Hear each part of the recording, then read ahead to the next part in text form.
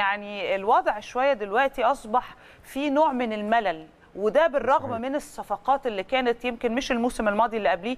آه، لما كنا بنتكلم ونسمع 18 صفقة جديدة ومديرين فنيين بخبرات مختلفة آه، ليه ليه ده برضو مش قادر يوصلنا للمتعة الحقيقية والمختلفة للدوري المصري؟ يعني آه، شايف إنه طموحات اللعيبة نفسها بتبقى السبب الرئيسي في القصة دي. يعني زمان كان الطموح مثلا يروح أهلي وزمالك بس كان بيبقى عنده عنده فرصة ياخد دوري زي الإسماعيلي مثلا زي قبل. كده المحله المقاولين في الثمانينات.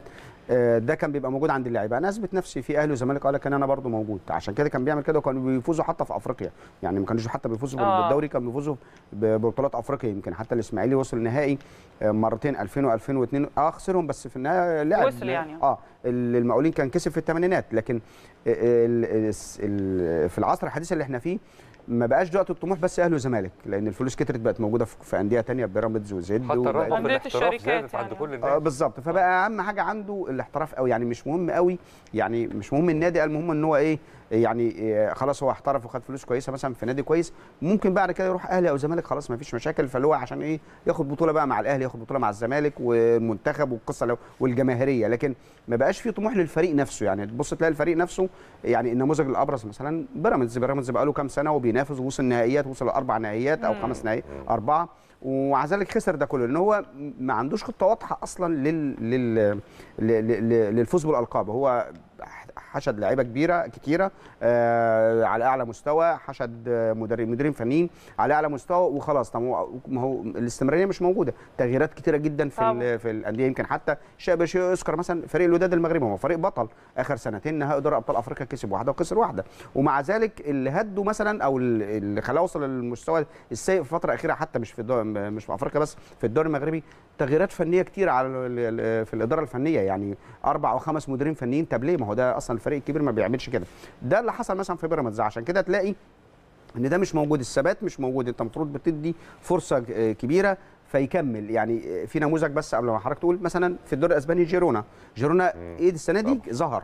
وقدر ينافس. لكن طبعا اصطدم بخبرات عملاق كبير اسمه ريال مدريد خلص على الظاهرة. دي ما, في ما عنديش أنا الكلام ده كله. لكن هو قدر آه، بجهاز فني بثبات بعض اللعيبة قدر يمشي فترة كبيرة. كسب أتلتيكو مدريد فريق عتيد وعنيد قدر يكسب برشلونة. هو اللي يمكن ده اللي عمل له الرواج. لكن هو طبعا خسر قدام ريال مدريد وتراجع قدام هو ريال مدريد. أكيد فكرة إن يبقى في عدم استقرار على صعيد الإدارة الفنية بيبقى. انعكاسات غير طيبه طبعاً. بالمرة على اللعيبة ده شيء مفروغ منه. صحيح. بس مش برضه في حد أدنى من الجودة اللي المفروض إن هي متوفرة بالفعل في اللاعبين بغض النظر عن المدير الفني اللي استجد. موجود. لكن كده كده اللعيبة تحس إن مستواهم نفسه بيتأثر. آه. طب إيه اللي حصل معاهم هم شخصيا؟ أنا بكلمك بقى على صعيد حتى المهارات الفردية تحسها بتتأثر في بعض الأحيان. ليه؟ هو اللاعب بيحس نفسه عشان كده بقول لك المشكلة في اللاعب نفسه. هو بيحس نفسه أنا مش آه، أنا خلاص خدت فلوس كتيره. ال- ال- النادي ده مش قد طموحاتي أصلا يعني مش مش كده.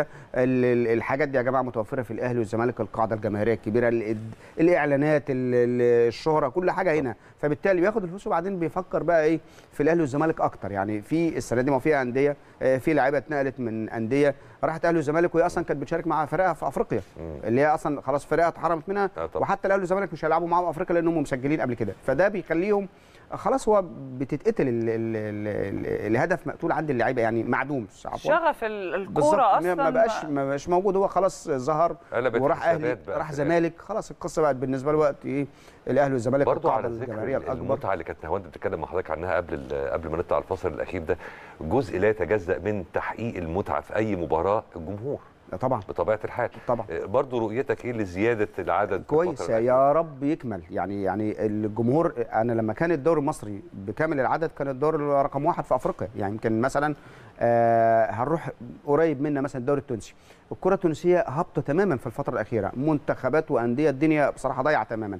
أحد أسبابها قلة الجماهير.